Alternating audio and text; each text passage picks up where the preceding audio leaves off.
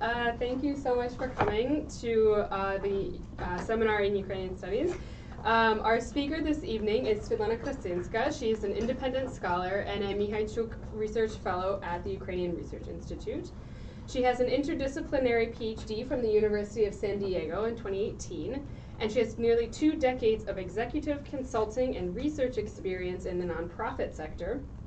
She's also the author of several scholarly publications, including her most recent co edited volume, which is entitled The Nonprofit Sector in Eastern Europe, Russia, and Central Asia Civil Society Advances and Challenges, which came out with Brill in 2018. And the title of her talk today is Below the Radar The Power and Limits of Ukraine's Informal Civil Society. Thank you. Thank you, Emily, for that generous introduction. And um, I also want to say uh, thank you to HURI for having me here this fall uh, and uh, um, giving me this opportunity to work on my research and finish my, uh, hopefully, my book while I'm here. Uh, and uh, I also want to thank this very generous uh, audience for being here on this rainy afternoon. I hope to make it worth your while, and I'm really looking forward to the discussion afterwards. So, uh, as Emily uh, mentioned, uh, my work is situated in the interdisciplinary field of civil society studies, or nonprofit studies, or voluntary sector, or third sector studies. There are a few names. Uh, and on, in my research, I draw on um, theories from a variety of academic disciplines. And in particular, uh, in this research, I look at um, different disciplines' approaches to studying informal phenomena. So before I uh, present my findings and arguments, I want to give you a bit of a background story on what brought me to this particular topic. So prior to my um, uh, prior to going to academia, I was working in the nonprofit sector as consultant and board member and executive director. Uh, and going into my doctoral studies, um, I knew I was going to fuse my personal background as a born and raised Ukrainian, which I wear on my sleeves quite literally today uh, and every day. uh, so I was going to uh, fuse my personal background with my professional background, and I knew I was going to study uh, civil society in Ukraine. So the first uh, paper I wrote as a doc student uh, started off with a review of the sector kind of what were the developments in the previous 10 years, where the sector stood, and uh, what its environment was, and what issues it faced. And of course, what I discovered was that there's been um, uh, a variety of uh, changes in the environment for nonprofits, political changes in the in that first decade um, of uh, this millennium, um, of course, the economic downturn, the 2008 uh, crisis, and also some uh, significant pieces of legislation uh, adopted in that period that directly and indirectly affected the nonprofit sector. And how did um, the sector fair, considering all these uh, different uh, uh, and significant changes? Well, um, I was uh, just as surprised. According at least to the existing data on the sector, they seem to be fairly unaffected by all these changes.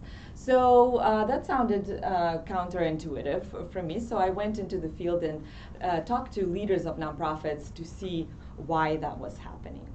And so what came in their responses were um, a few things. So on the one hand, these established CSOs or civil, civil society uh, organizations, which is a um, kind of a popular acronym that's used for organizations in Ukraine. And so these civil society organizations that are uh, predominant, if not sole, um, focus of uh, sector assessment studies in Ukraine were fairly unaffected by both political and economic changes because they were heavily reliant on foreign funding. And actually, the worse the conditions were politically and economically, the more foreign funding would be pouring in, and that, uh, that kind of um, explained some of that balance of why the sector indicators were so stable. On the other hand, the grassroots and informal organizations I talked to were significantly affected by all these changes, uh, and understandably so. But their realities weren't uh, reflected in any of the data because uh, their um, activities weren't really um, uh, reported officially. And at the same time, both the um, the established uh, organizations and these grassroots organizations seem to be fairly unaffected by the legislative changes. And uh, they said, yes, we know about these new laws, but we don't really pay attention to them. The government does uh, its own thing, we do our own thing. It's like we operate in parallel universes. So speaking about parallels, I started drawing parallels with the economics literature on shadow economy to try to understand this phenomenon. And as uh, probably many of you know, uh, a significant share of Ukraine's gross domestic product, or the GDP, is produced in the informal sector. So I thought if um, half of uh, Ukraine's economy is in the shadow, it would be natural to see uh, a pretty significant amount of uh, civic activities there as well. So I uh, um, concluded that work with kind of an open question. So if we look at what really is going on, uh, rather than uh, at what is being recorded, would we see a different picture? So then, um, of course, um, Maidan happened, uh, and um, what I observed is that these popular protests really bring up uh, the informal organizing to the surface and makes it really visible. So uh, it was a tremendous opportunity for me to um, examine these non, informal dynamics in the context of anti-government uh, protests where keeping things below the official radars, uh, among other things, uh, was um, actually um, a safety precaution, uh, and some, in some cases even key to survival and, and, and, physical safety. So this resulted in another paper that was published uh, long afterwards, as you know how things work in academia. Uh, and uh, it looked specifically at organizations, a variety of organizations on Maidan that looked and behaved like CSOs, right? But they didn't have any registration with the government. So when you look at statistics and uh, sector assessment, they wouldn't be reflected on it. So this um, helped me, these and other um, uh, papers I wrote, helped me really crystallize the empirical puzzle for my uh, dissertation research. Uh, and it goes as such. Um, so civil society in Ukraine and other post-communist countries has long been diagnosed as being weak. And this assessment is based on the uh, level of citizen participation in formal civil society organizations that are uh, ostensibly, those are the ones that count when you look at civil society. And uh, the dominant explanation uh, of that dynamic uh, are these uh, so-called communist legacies, right? So the decades of suppression and communist rule killed civil society, so now we have to build it from scratch. And that's kind of a dominant discourse in the civil society literature.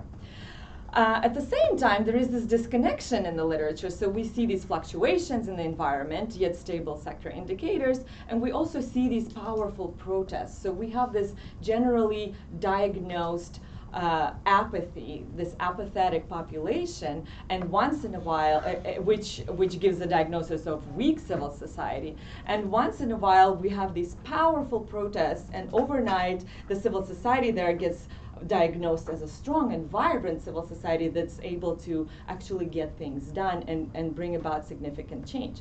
So what is it? Is it weak or is it strong?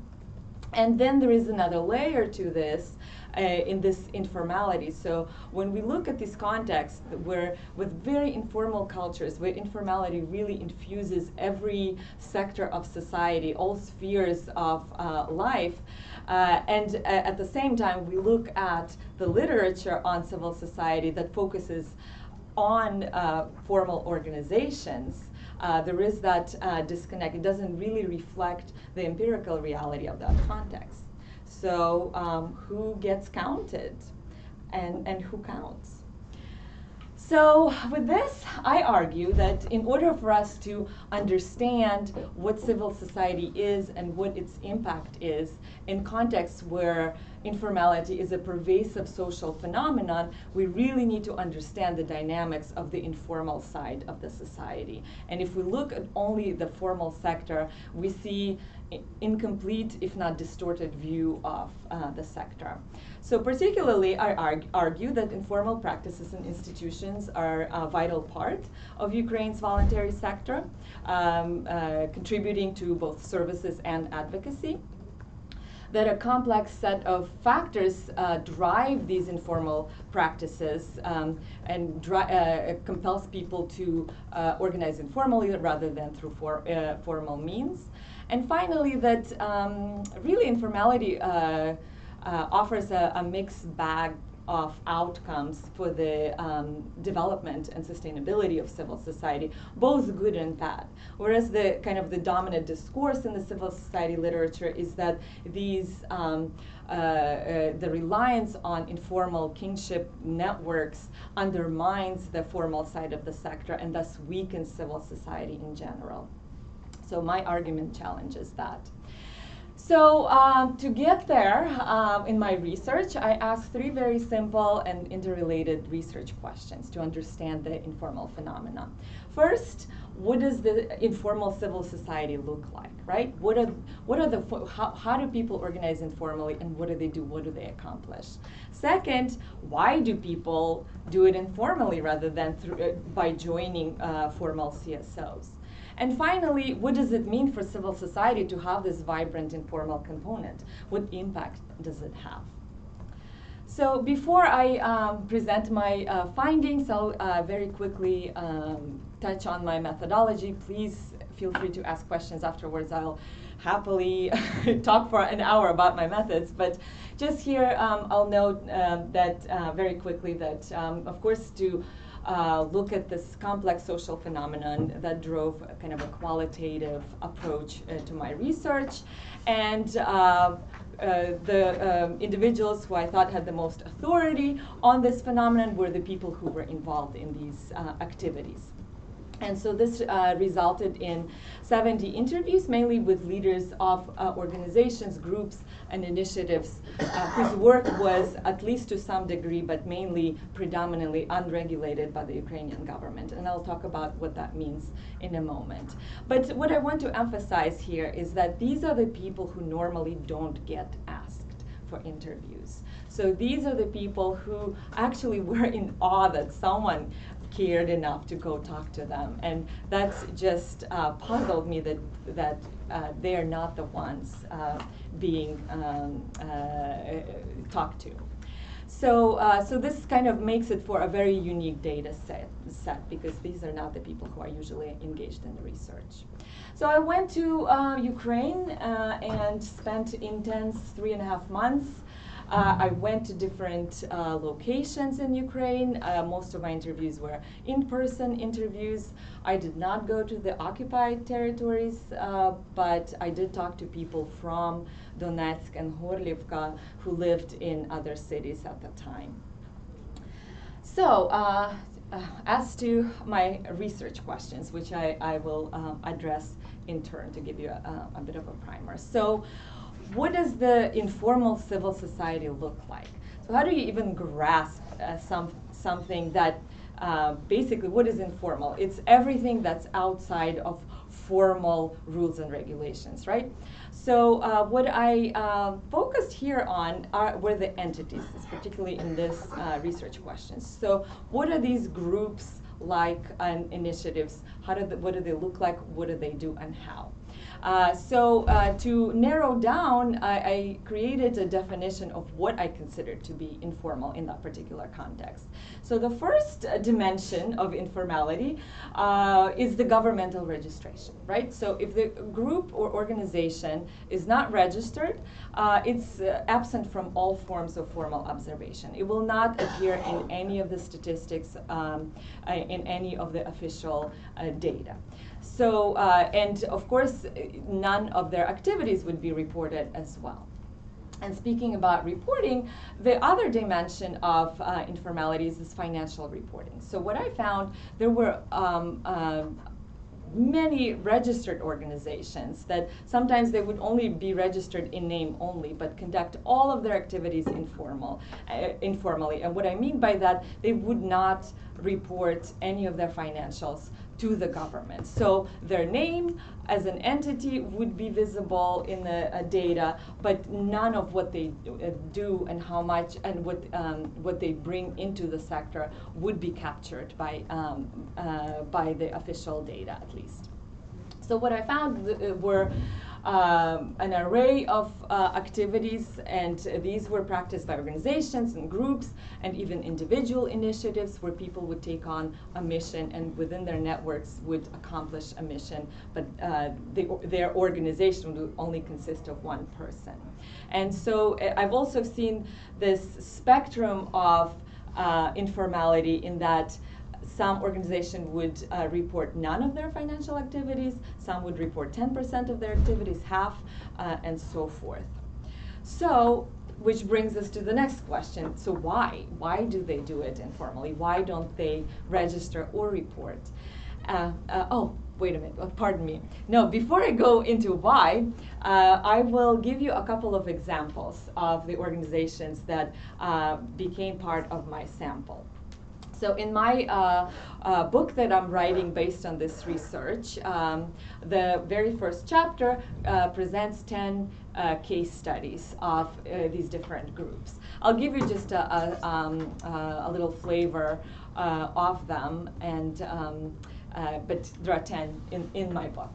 So first, um, I, um, there's this um, woman in this small town, in this community, who single handedly rescued stray dogs in her community. So she would just pick them up, she would feed them, she would clean them up, she would find local vets to fix them up. And uh, then she, through her network, she would uh, write articles. She would have her uh, newspaper friends write articles about different dogs and social media. She would get them adopted. The dogs that she couldn't get adopted, she would uh, make these makeshift um, shelters for them in the abandoned uh, construction sites. So all kinds of things she's done. She's even um, uh, forced the local county office to open a shelter for wounded animals. So uh, now uh, the local police department has her cell phone number uh, on file. So if there is an uh, abandoned or wounded animal, they call her because they know she will mobilize the, you know, the rescue unit and to figure out what to do with this dog right? So, uh, and completely unregistered. I when I asked her are you considering? Uh, she thought that was crazy. Why would I register? so um, an organization, I'm just saving dogs. So then there is uh, uh, another case study is this crisis center. So there is this uh, center, the kind of ad hoc center to uh, um, cater to the needs of uh, internally displaced um, individuals who flee the war zone and the occupied Crimea. So this is a, an organization that eventually did register with the government in order to receive uh, large amounts of uh, humanitarian aid coming in. And so even to get through the, uh, that aid through the customs, they needed to have an official entity so they didn't have to pay taxes. Uh, it's a, a, it was a fairly substantial operation in 2016 when I studied them. Uh, but uh, other than institutional grants and this humanitarian aid that came officially from abroad, they weren't reporting really any other um, uh, financials to the government then there is this uh, um, kind of a completely different kind of um, activity. I call it urban vibe. So there are these um, young professionals in a um, X town of Ukraine, uh, right, who felt a bit provincial in their uh, location because none of the artists or, or writers would come in and you know not, not wanting to move to Kiev or Lviv like a lot of other uh, uh, uh, their other friends did they wanted to bring the mountain to the Mohammed um, so mm-hmm. they were uh, organizing public lectures and bringing in artists. And this is the organization uh, that was getting foreign foundation grants in the form of cash in an envelope because they were an unregistered group, right? So this is something that's emerging, although it's not mainstream yet. So this is the organization that said this is the best uh, relationship I've had with a funder where we actually know them. They know us, we trust each other, so they can give us this uh, envelope and they know what we will do with that money. And so uh, there's another group, and uh, there are historians in the group, so I had to bring the Historic Society. so, uh, uh so uh, as, as, some of you know, in 2015, this decommunization law was passed in Ukraine, right? The controversial, but um, so before it was passed, uh, this group of activists in a small town got together and said, we need to decommunize our, uh, our town. So uh, they came together and talked to local historians, to community. It was really a communal process talking about how do we rename our Lenin Boulevard and our Octo Red October Square. So by the time the laws were passed, they already had a comprehensive strategy in place. Uh, they did a comparative study with other cities, and they thought they, theirs was better than the one in Lviv. Uh, you know, so but what happened as, resu- as in the process, people uncovered all this fascinating history in their town and people wanted to know more. So uh, it, it got these people together said, let's let's create history. Let's uh, let's uh, create a, a, local historic society. So what they're doing uh, is they're creating Wikipedia pages on these uh, local prominent um, figures and they they are developing the guided tour of their town going to these different uh, prominent places. They go to schools popularizing uh, not just uh, lo- local history but history in general and do all kinds of uh, nifty other things. And they, they were in the process of um, doing this uh, um, the uh, the code that you can QR. scan. QR yeah. uh, code. So you could on the side of the building you could scan it and it would give you the information. So all kinds of interesting things. And 10 to 7 or 10 very active members and then um, also volunteers. They also have zero interest in um, becoming formalized. They said we don't need any external support. Why do we need all this bureaucracy? And then of course my uh, list would be incomplete without um, uh, a, a, group from the uh, recently emerged volunteer movement um, aiding the Ukrainian army. And so this particular organization that I write about they uh, actually had substantial uh, operations and they even crowdsourced an emergency vehicle and would send volunteer uh, medical workers uh, on the battlefields to evacuate the wounded and provide first aid and uh, did all kinds of um, things in the support of the army but they report nothing to the government be, uh, because of um, uh, for a variety of reasons. They actually, if you want to give them money, they send you uh, uh send volunteer with you to the store to buy what they need to bring to the uh, uh, front lines, and then you bring it back. And this way, there, there's just no cash um, going through their accounts at all. So um, now back to why. Um, why do people resist this formalization?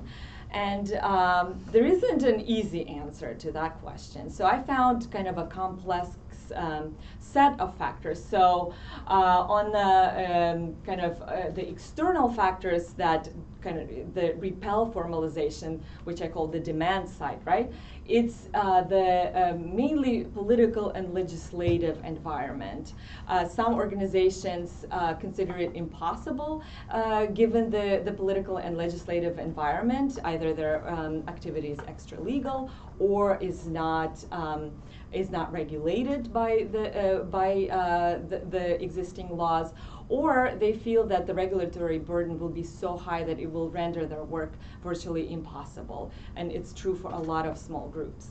Uh, on the other, uh, uh, on the bottom of that is that really the, the bureaucracy is just not worth it. So this is the cost benefit calculation. What do I get from registering and formalizing my activity versus what I have to put into it? And when the, the benefits uh, don't outweigh the, um, the inputs, then people choose to exit from the formal domain.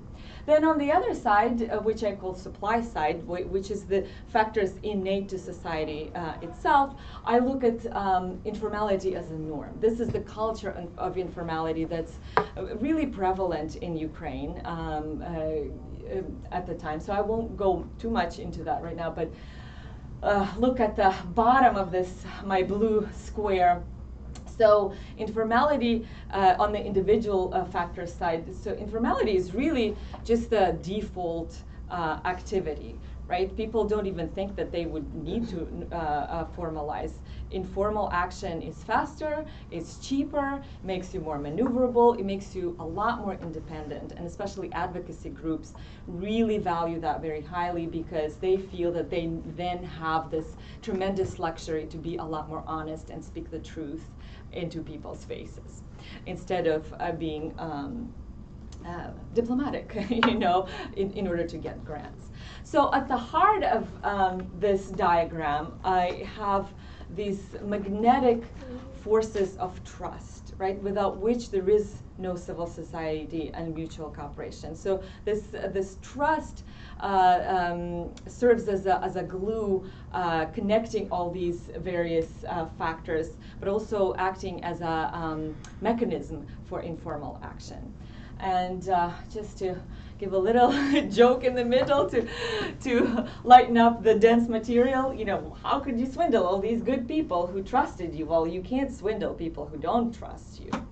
So, um, so Ukrainians are known to be very weary of you know being swindled, and they feel often swindled by um, their government. There's plenty of literature that talks about the low levels of distrust uh, in uh, among Ukrainian population to their government. But I, what I also talk about um, in uh, my work is that uh, is that uh, there's also this other institutional distrust. And uh, I talk more about the distrust of formal civil society organization, how that affects the, the resistance to, to formalization. And so, of course, offsetting the, this prevailing distrust, um, there is uh, this um, trust of friends and family. This is where this informal action lives in, in within these uh, uh, uh, family and friendship networks, but also within networks that were built based on joint experience, and especially in uh, crisis experience, such as Maidan, the revolutions, the protests, or volunteering at the uh, at the front lines. So now, um, what does it mean to have this informal component uh, to civil society and how can we even begin assessing its impact? How do we grasp it? So to do that, I um, look, uh, I, I ask my question of what the impact is uh, looking um, for answers through these uh, three lenses of um, major um, con- uh, discourses in civil society literature uh, in, uh, in, the contemporary context. And so these three lenses, uh, first, the first lens uh, for um, considers civil society as a part of society. So this is the associational life uh, in the traditions of Alexis de Tocqueville. This is the schools of democracy and social capital, that Robert Putnam and his followers. So the, these these are the uh, associations, right? The, the voluntary associations, and um, the a bulk of nonprofit um, and civil society literature looks at civil society through this particular lens. And oh, this nifty um, uh, through this particular lens. And this is why we see such a heavy focus on formal organizations, because this lens looks at organizations. And of course, the formal ones are the ones that are easier to uh, study. So the second lens uh, purports that civil society is the kind of society. So this is the good society uh, uh, characterized by positive values and norms and the ability to uh, reach common goals. And finally, um, uh, the third lens looks at civil society as a public sphere. So this is a space uh, where people come to bring their differences, where, where they deliberate, where, where they collaborate across institutions and across sectors. So, um, given these three lenses, I ask three specific questions in my assessment of the impact. So, first, uh, what are the forms and functions of Ukraine civil society? Does the informal action uh, contribute to democracy? Second, what are the norms and values at place, and do they enhance um, capacity uh, uh of the population to solve common problems? And finally, does informality promote uh, or detract from constructive uh, deliberation, the creation of um, new publics. So I look at each of these in turn, and when I look at the part of society, um, uh, the very kind of prominent finding is that the civil society, the informal civil society, is a very much outcome-driven uh, part of, of society. What they are, uh, uh, um, their goal is to reach very specific objectives, to get things done as efficiently as effectively as possible in a highly volatile and resource deficient environment. Uh, and uh, informality helps them be maneuverable through these uh, um, uh, volatile uh, conditions. so, however, because of the lack of institutionalization, kind of they, they do lack that bigger uh, picture of strategic thinking and sustainability as well.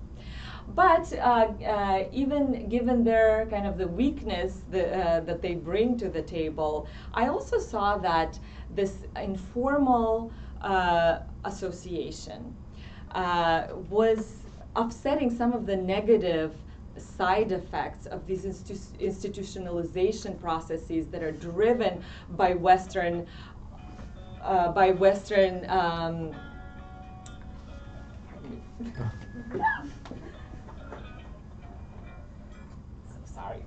so that are driven by these uh, uh, theories and practices that were developed in the Western context.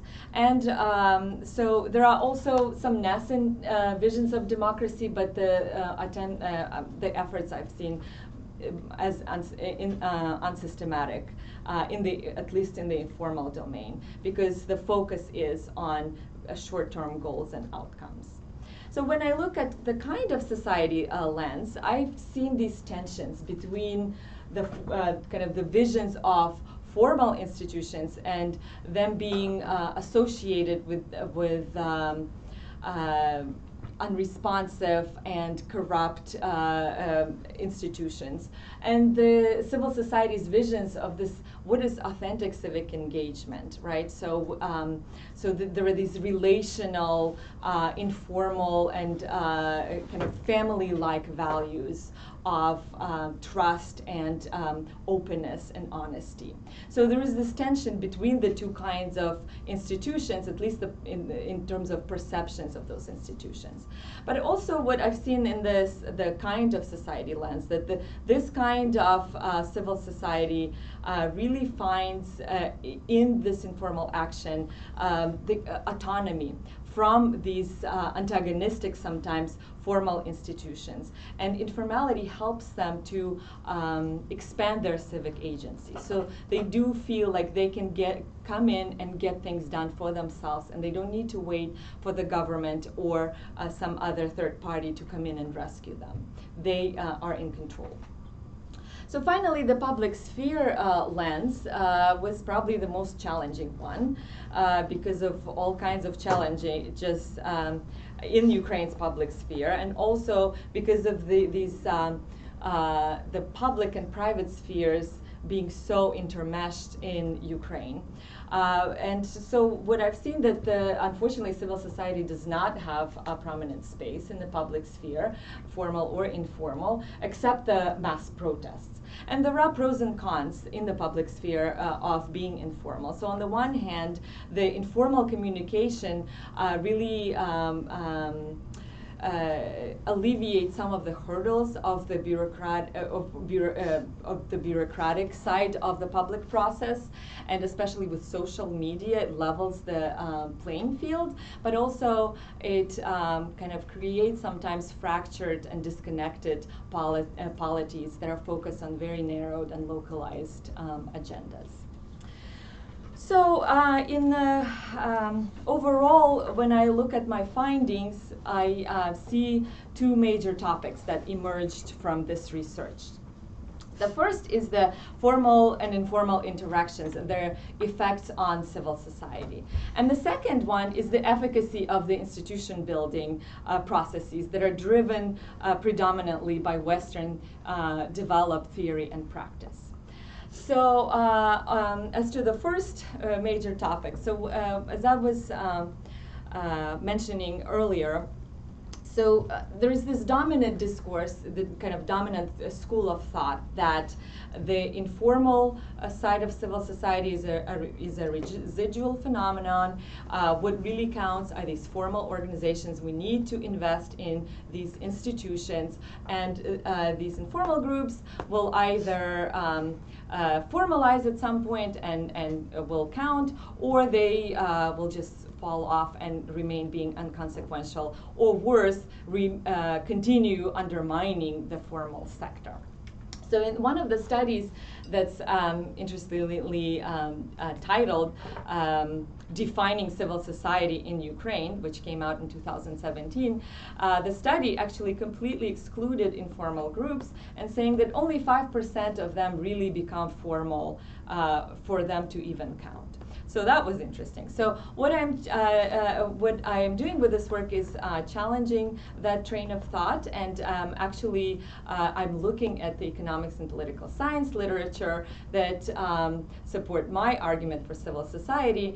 Uh, for instance, in the economics uh, literature, it's um, a well-established fact that informal economies don't necessarily ruin the formal economies. They actually, in many contexts, especially in the developing context, they uh, buttress the economy uh, in general. And this wasn't an established fact uh, a couple of decades, a few decades ago, but it is now. So can we use that uh, in the context of civil society as well. In the political science uh, literature, there is also this notion that you know informal institutions don't necessarily undermine formal institutions, or at least not always.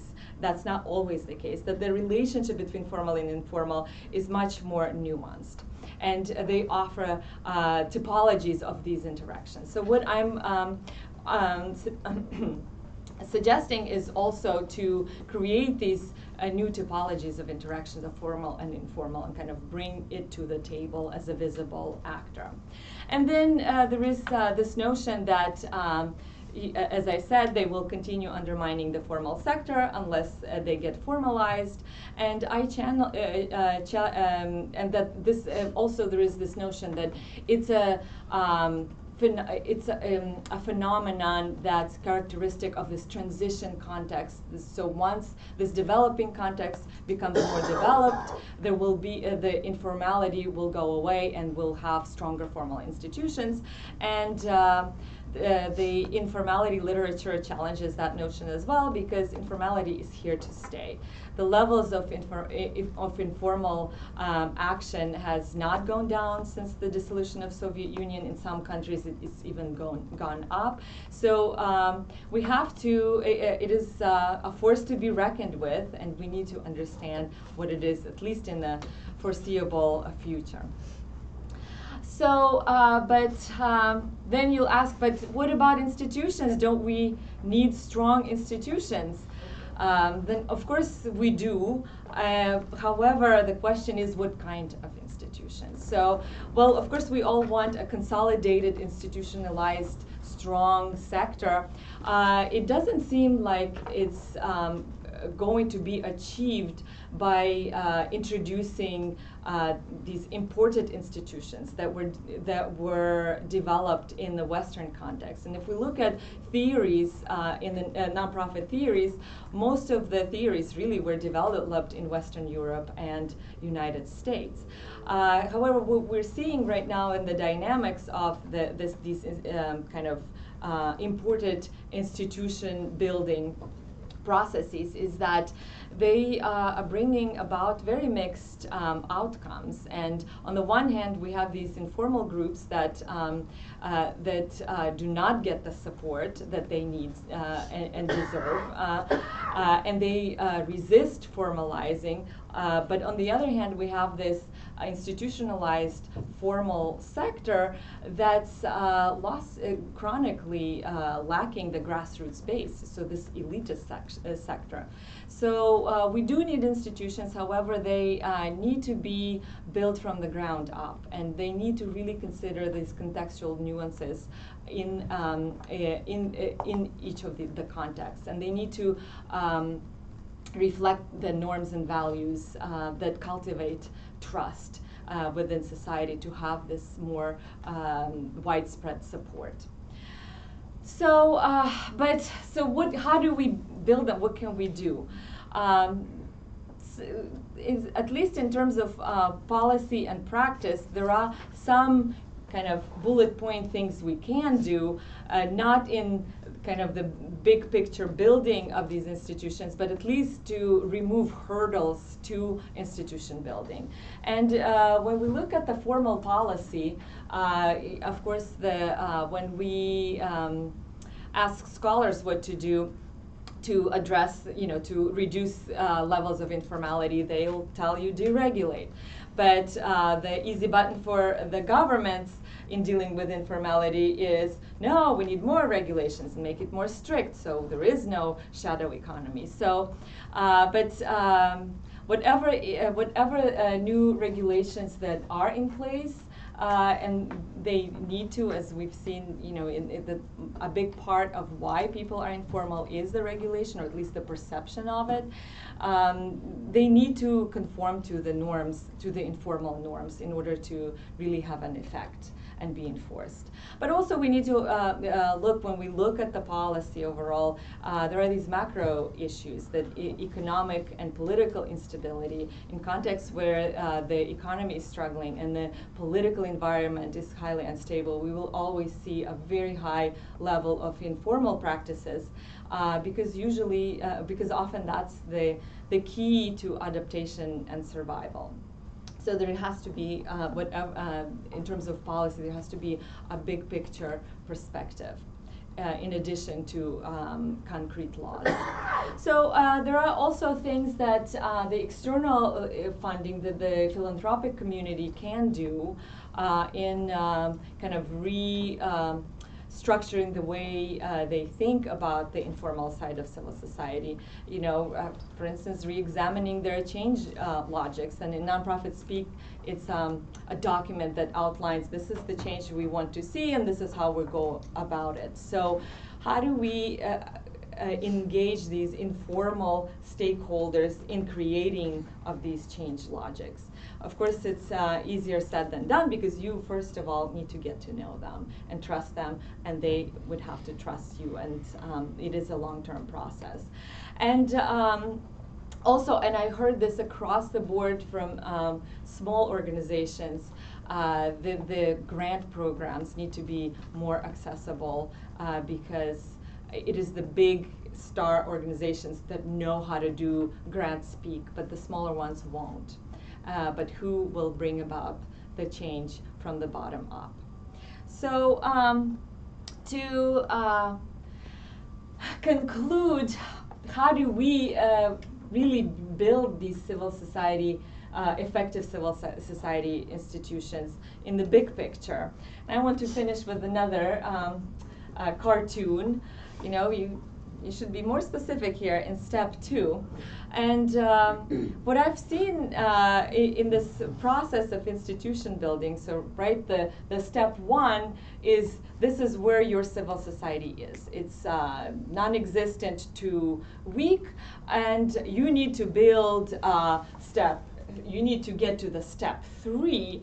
This is how civil society really works, and this is how to build a strong one because that works in the United Kingdom or in Florida.